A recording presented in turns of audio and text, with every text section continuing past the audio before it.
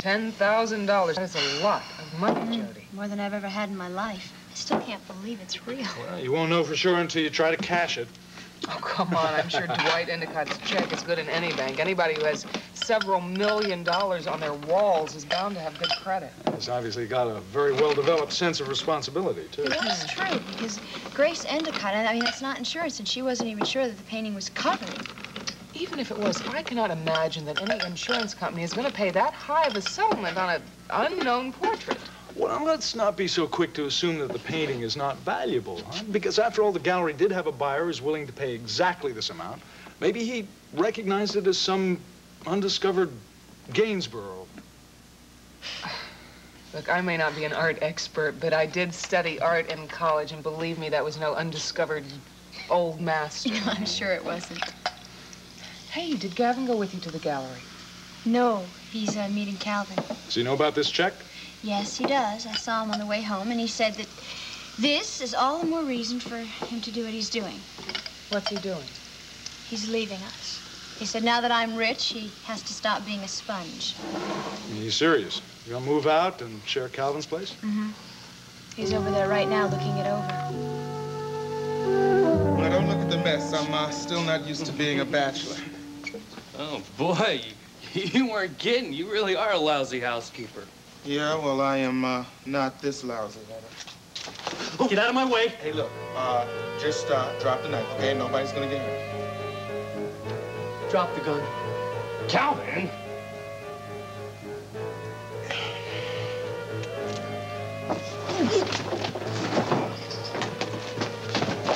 Damn it!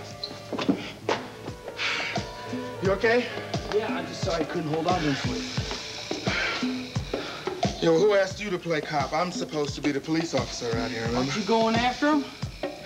I sure am. He was nice enough to leave me his ID, Vincent Green, West 5th Street. And look at this. This burglar left more behind than he got away with.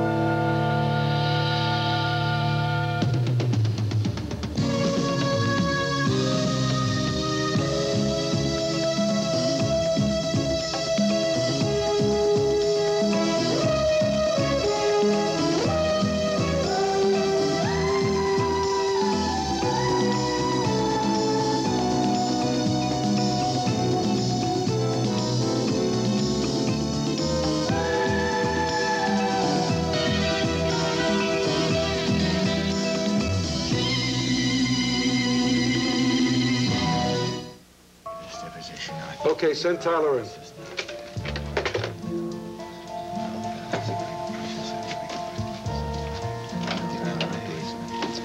Tyler, come on in. Sit down over here. I believe you know a few of these gentlemen.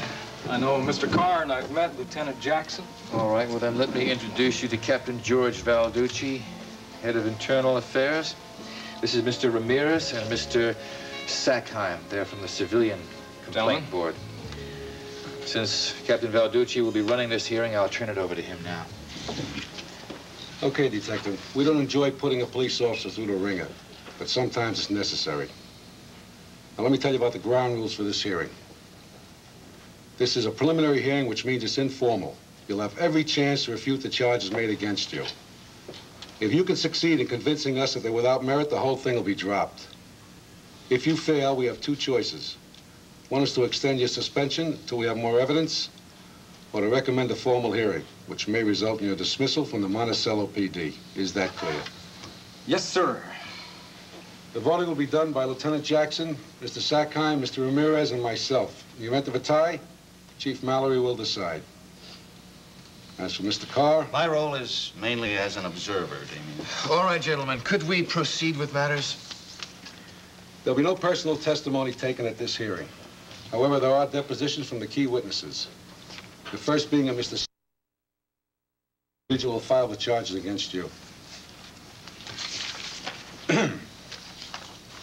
On the night of April 19th, I was standing outside the Chapeau Rouge restaurant after having a drink at the bar. Detective Damien Tyler, not then known to me by name or title, American. I smiled at the woman who was seductively clad. Seductively clad? Are you going to tell me Sammy Wheaton used that kind of language? As you know, Chief, deposition in the office of a clarity. all and right. then read by the deposer to make sure that the intent is identical. Yes, I'm sorry, I forgot. Please continue.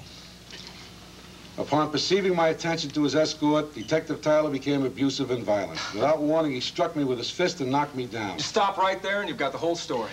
Come on, Tyler. Let him finish. Then he grabbed me by the back of my shirt collar, proceeded to drag me down behind the restaurant. There he began to beat me using his fists, his feet, and the lid of a trash can. I do not know how long he beat me in this manner because I was rendered unconscious within the first few minutes. When I woke up in Monticello General, I was informed that I had sustained a serious concussion. Bone fractures, severe internal injuries, end of statement. May I make a comment, sir? Go ahead. Sammy Wheaton provoked that fight. He didn't just smile at that girl. He made several lewd and suggestive remarks. Is that your justification for what followed? No, sir. Uh, I agree I should not have struck Sammy Wheaton, but I only hit him once. I did no further damage. End of statement. I'll read the next statement. Deposition of Poppy Johnson. My name is Poppy Johnson. I am employed as a secretary at the Lucky Salvage Company. On the night of April 19th, I was escorted to dinner by Detective Damien Tyler. When we left the restaurant, a young man made some remark which I did not hear, but which made Mr. Tyler very angry. He knocked him to the ground and then dragged him behind the building. When I went to see what was happening, I saw Mr. Tyler kicking the young man repeatedly in the side and on the head. Oh, come on, sir. May I ask why these witnesses aren't here to make these accusations uh, to my face? We can't subpoena witnesses without a court order, Mr. Tyler. And this is not a judicial matter. Not yet. Relax, Damien. It's going to be all right. Unable to watch anymore, I left. A few minutes later, Mr. Tyler emerged from the alleyway and said something about having taken care of the problem. I insisted on going straight home. End of statement. Well, she didn't tell him the best part about what happened when we got to her house. What do you say? Nothing, sir. Then I take it you deny her allegations? Of course I deny it. Now, what about this, Detective? I don't know. What is it? That's a picture. Do you know the people in it? Yes, I do. The uh, gentleman is myself, and the lady is Miss Poppy Johnson. And what are you doing in that picture, Detective? I'm trying to take the coat off uh, Poppy's back. It's the coat that Eddie Lorimer gave to me. Now, why would Eddie Lorimer do something like that? He said he wanted to help me out of a jam. He gave me this coat to try to bribe uh, Miss Johnson in order to make a retractor statement against me. Is that what you're doing in the picture? Oh, now, come on. I object to that for crying out loud. You're not his defense attorney. All right, I'll skip that question. I'll read the next deposition.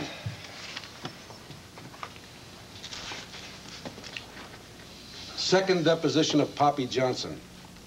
On May 12th, Detective Damian Tyler showed up at my office and said he had a present for me. He said he knew I always wanted a mink coat. And he bought this one at a bargain price from a furrier named Tonio. He hinted that if I wanted the coat, I should change my story about our date. I'm sorry to say that I agreed because I really wanted that coat. And by a strange coincidence, Mr. Lorimer just happened to be there with a camera to record the event. Now, look, this is obviously a frame-up. You know very well he didn't buy that fur coat, not on his salary. Well, apparently he ordered it just the same. My office checked out this Tonio furs. And here's a bill of sale. Oh. As you can see, it was signed by D. Tyler. Bill of sale. Come on, baby, have a little more of this stuff. This is terrific. It's imported all the way from San Jose. I just don't see why you're celebrating so soon. because I finally got that bum exactly where I want him. By the way, you did a terrific job. You and Sammy, I drink to your cheers. You went to an awful lot of trouble just to get back at one cop. Hey, you know me. Nobody crosses Eddie Lorimer. You see, people are going to have to learn that. The more people learn that, the less people are going to try. Now, does that make sense? I guess so. Nobody crosses Eddie Lorimer. You, uh, you will remember that, won't you, baby?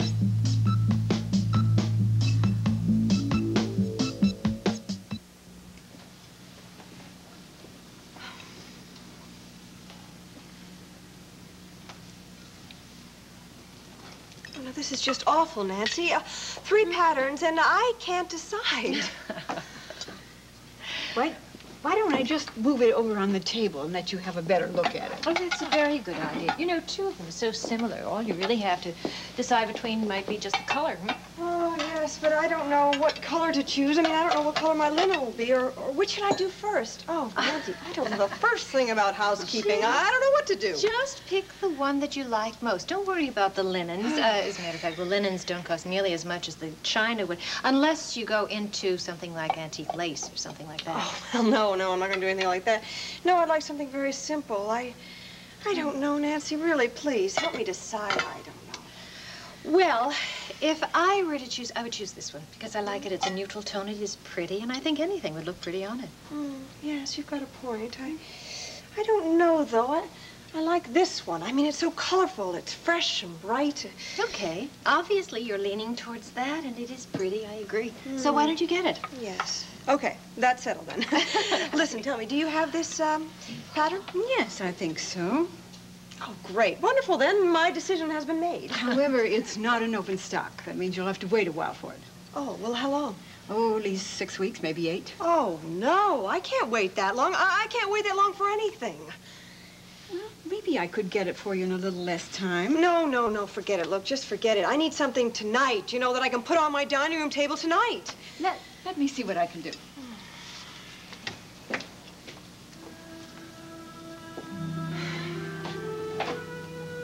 Jinx. Jinx, what is it?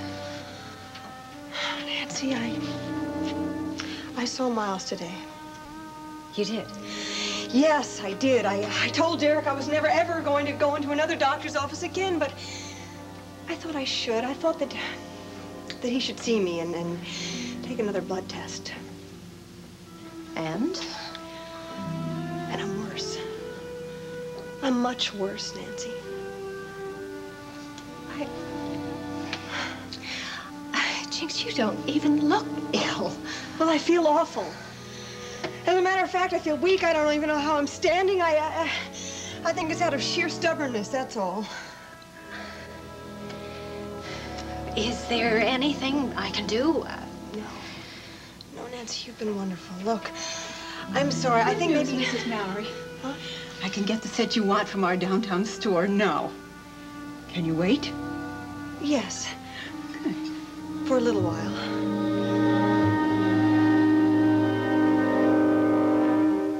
The check. There's no question in my mind. Yeah, I don't see any reason why you should turn it down either, Jody. I Jody. think it'd be a very foolish thing unless you uh, were convinced the police were going to recover the painting. Well, now there's a thought. What happens if they find the painting and you've turned your check into lots of pretty dresses and jewelry and so forth? I'll just give it back for the portrait. Well, I've got a very sensible idea. Why don't you take the check, put it in the bank, let it earn interest, right? And then if they recover the portrait, you have it and the interest. Well, now that is a very sensible idea. Congratulations, Doctor. Thank How about I just deposit 9800 I mean, there's this gorgeous dress in Bennett. Oh, Excuse me. Hello? Oh, hello, Nancy. Uh, Nicole, is is Miles there? Yes, yes, he is. Did you want to speak to Miles or Dr. Cavanaugh? Exactly. It's uh, Jinx. Uh, we were shopping and uh, she became ill. Oh, Um, hold on, Nancy. It's Jinx. Yes, Nancy, what's happened?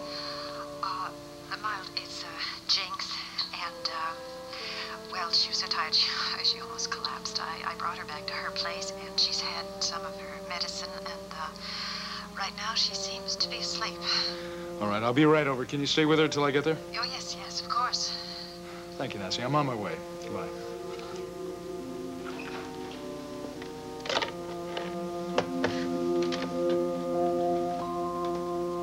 Oh, I've got to leave.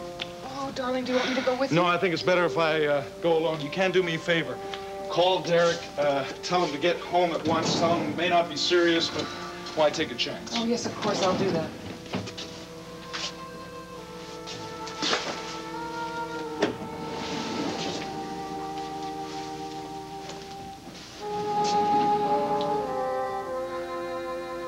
Look, Captain, just check it out. Do whatever you think is necessary. I don't care what this piece of paper says. I did not buy a mink coat at Tonio's Furs or anyplace else.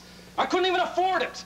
And if I could, I can't think of a woman that I would give a mink coat to. Listen, gentlemen, this has got to be the damnedest, most complete frame I think I've ever seen. And I can't believe you're going to sit there and tell me that you can't comprehend this. I'm trying to deal with the facts on hand, Chief. Oh, the facts. I have no bias in this case. Gentlemen, I think we're still short on information. Well, then you tell me how Eddie Lorimer got a hold of that coat if he bought it. We only have Mr. Tyler's word that Eddie Lorimer delivered. it. Oh, come on, I told you it was Eddie Lorimer. He knocked at the door, I answered the door, he was standing there with a mink coat in a box. Now, what if that coat was delivered to your address by the furrier and then intercepted by Lorimer? All right, gentlemen, we've got a stalemate. I guess so. I'm going to recommend that uh, we postpone the hearing. Sir, can I ask what's going to happen to my job in the meantime? Your suspension will be extended for a two-week period, or more if it's necessary. That is not fair. Keep quiet, Tyler. Gentlemen, let's take a vote. Good night, boss. Good night, Poppy. Poppy, do me a favor. Get that phone for you. Mr. Lorimer's office. Who? One moment, please. It's Vince. What's he doing calling at this hour? Oh, give me that phone. I'll see you later, okay? Yeah, I'll pick you up. What the hell are you doing? I'm putting on a pair of pants. Yeah, who'd you rob them from, you little thief? Eddie, I gotta get out of town. The heat's right behind me. What'd you do now, Vince? It was just a quick little job, Eddie, but the guy who lived there came home all of a sudden and... You didn't do anything to him, did you? He did something to me. He snatched my wallet. What are you telling me? You lost money on the heist, you banana? It's worse than that. My wallet had my ID in it. That's why I better get out of town. You know, you should paint a big sign right across your forehead. I am a thief. Please call the police. No joke, Eddie. Help me. I need, I need some traveling money. Hey, what do I look like? The Bank of Switzerland over here? All right, all right. I'll, I'll call Lester. I'll arrange a little loan for you. You pick it up at the same joint, all right? Thanks, Eddie. Damn amateurs.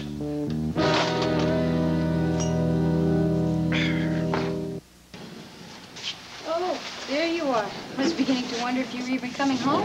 I still have to pack, don't I? See, I told you he's leaving us. I take it you liked Calvin's apartment, Gavin. Well, it's a little messier than I'm used to. Lamps overturned, drawers emptied onto the floor. What? Actually, Calvin made it very exciting for me. He had a burglar waiting for us there when we arrived. Are you serious? Yep. Some poor sucker tried to rob a cop. You weren't hurt, were you? No, the burglar was the only one that was hurt, and all he had done to him was a ripped pants pocket. He lost his dignity and his wallet. For heaven's sake. Gavin, you were hurt. Oh, no, no, no, no. It's, it's just a little bruise. He slammed me up against the wall when I tried to be heroic. Oh, bruise my foot. Let me get something for that. Oh, here, honey, I'll get it. You stay with Gavin. You know, this wouldn't happen if you lived here with us. Why don't you think about it? I think I'm beginning to get a little weak. I Maybe it's a delayed Are reaction. you gonna be all right? No, I think I'm gonna faint. Oh,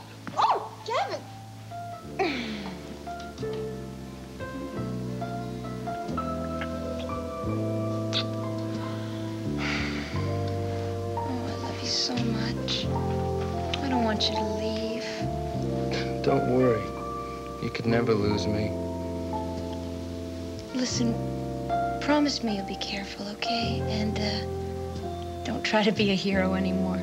If I wanted to be a hero, I'd go with Calvin to find the burglar. No, I'm glad I didn't.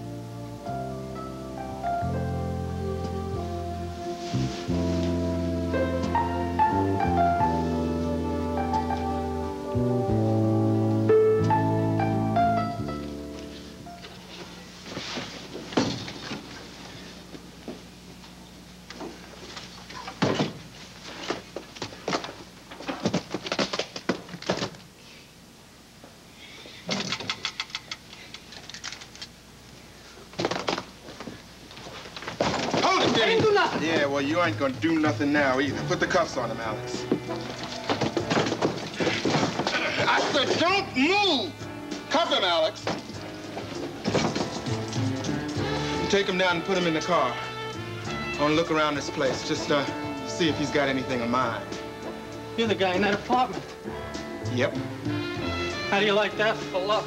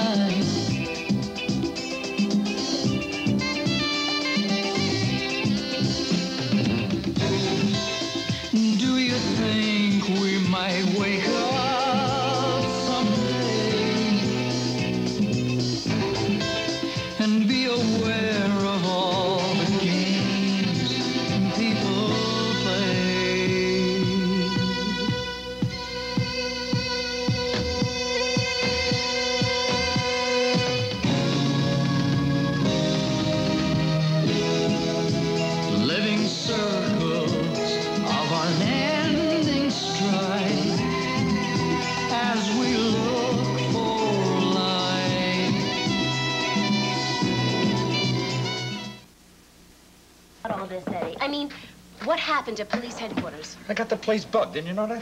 Police headquarters? You're kidding. Yeah, I'm kidding.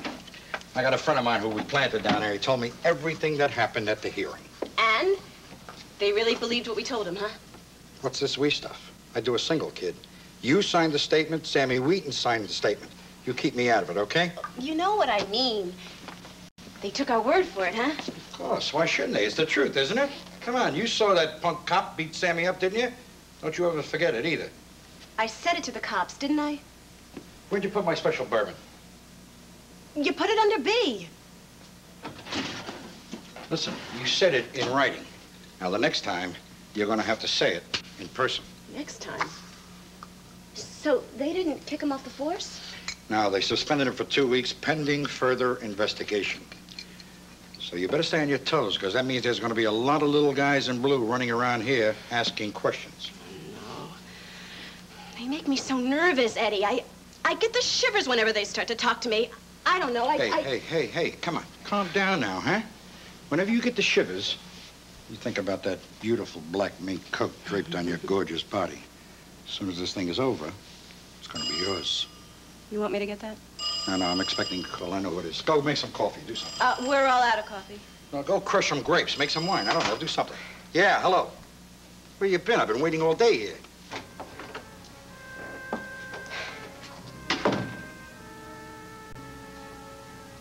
You're doing? I'm waiting for you. Look, if you've come here to pick a fight with Mr. Lorimer, then all I can say Hey, is... wait a minute, wait a minute. Take it easy. I'm a peace-loving man. and I happen to be a private citizen at the moment. I came to see you, not Eddie Lorimer. Well, if you came over here to bother me Hold about... on, relax. I said I came to see you. That's all. Cross my heart. See me about what? Well, I just wanted to tell you that I'm not angry with you for what you did. Really? No, I can't blame you for that. I understand. I can't blame you any more than I could blame you for that thunderstorm we had last night. Natural phenomenon. Well, look, honey, I don't know what kind of game you think you're playing, Poppy. but... I... Why don't you go to dinner with me tonight? Are you kidding? No, look, I promise not to hit anybody. I don't care what the circumstance is. Oh, no, I couldn't do that. Are you crazy or something? Why would you want to see me after... Oh, go on and get out of here, huh? You need your head examined. Come on. You had fun last time, didn't you? I know you were probably supposed to have fun, but I think you and I were pretty good together. No. And, uh, if you don't mind, I, uh, I, I have a, a letter to write, and, and wait a minute. You said you like Italian food. What about Garibaldi's? I know what you're after. You think that you can talk me into changing my story, don't you? About beating up that guy and about uh, being bribed with that fur coat, No. don't you? No, no, no, no, no. That's not it at all. In fact, I promise not to say anything about that. I just want to get to know you a little better. I want to know why one of the most beautiful women I've ever met in my life would do this to me. Damien, I, uh, I don't know if I can, but, uh, call me later,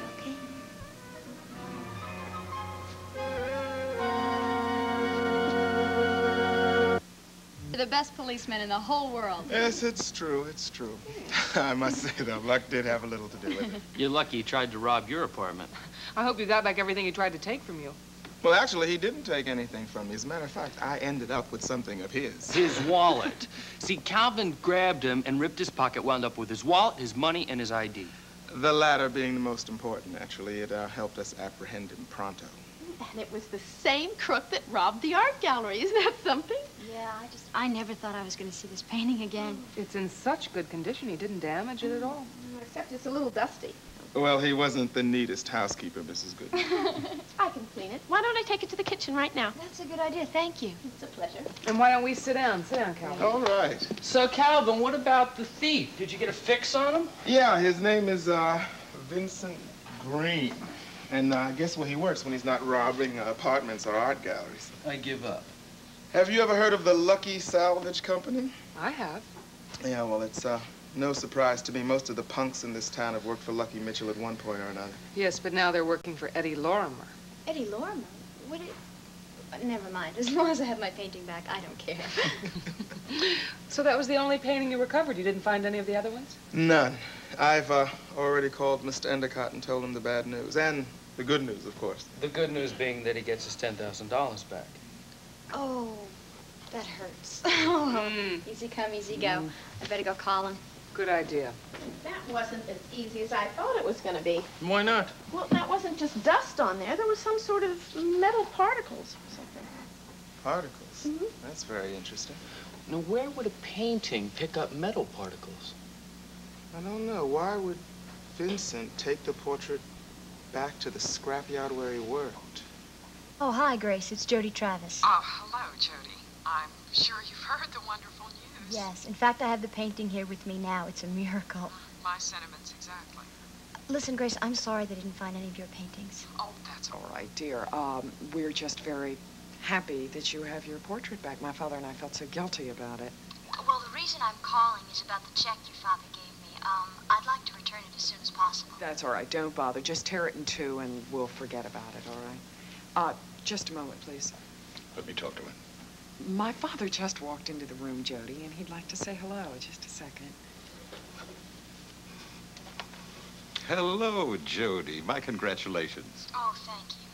I overheard what Grace was saying about the check. You know, there is an alternative. You could just keep the money and uh, give us the painting. What? Strangely enough, we heard from that man who wanted to buy it. He's still very eager. Um, Mr. Endicott, I'm sorry. I feel the same way about the painting.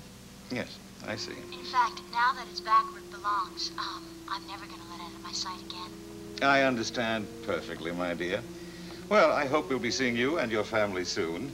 Goodbye, my dear. Stubborn little wench. It's just no use, Father. We're back to where we were. No, there's nothing we can do about it. We simply have to accept the situation. Yes, but can we really do that? We tried to buy the damn thing. We tried to steal it. What's left? Burn down the apartment house? Oh, you're awfully calm about it. I'm merely being realistic. Sooner or later, she'll forget the painting is there. It'll just become part of the decor, the way most paintings do. Yes, sooner or later, someone is going to remark on the painting.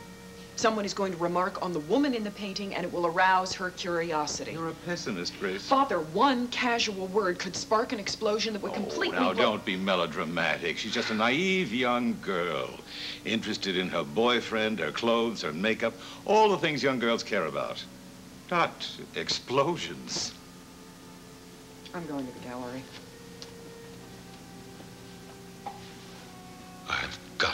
Got get that painting. Yeah? Oh, just a minute. A little more lipstick. Mm, yeah, that's fine. Oh, don't look so grim. I'm just going to the supermarket. You could send out if you knew what you wanted. I do. I just want to make sure everything's fresh. I don't care if it comes out of a can. No, no. Nothing is going to come out of a can for tonight's meal. Uh-huh. No, it's okay. I just got a little dizzy. I'm all right. The hell you're all right. Derek, why does this have to be happening to me? Listen, you're not strong enough to do this. You're really not. Oh, yes, I am, really. No, no, no, please, please. I'll, I'll be all right. I, I'm just going to go into the bathroom. I'll put a little cold water on my face. I'll be fine. Oh, Jinx. Look, go on ahead without me. It's all right. I'm not gonna go anywhere without you. All right.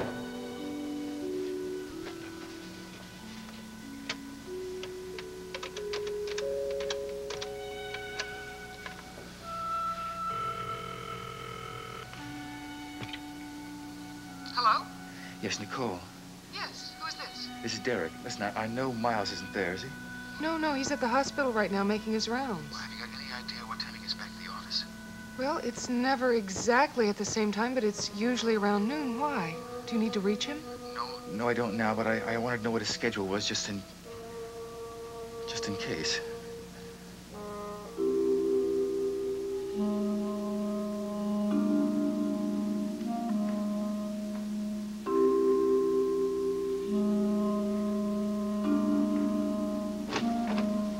Poppy, no phone calls, no interruptions till this meeting's over, okay?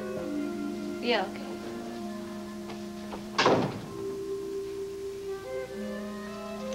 So, what's this all about? I got a message for you. From who?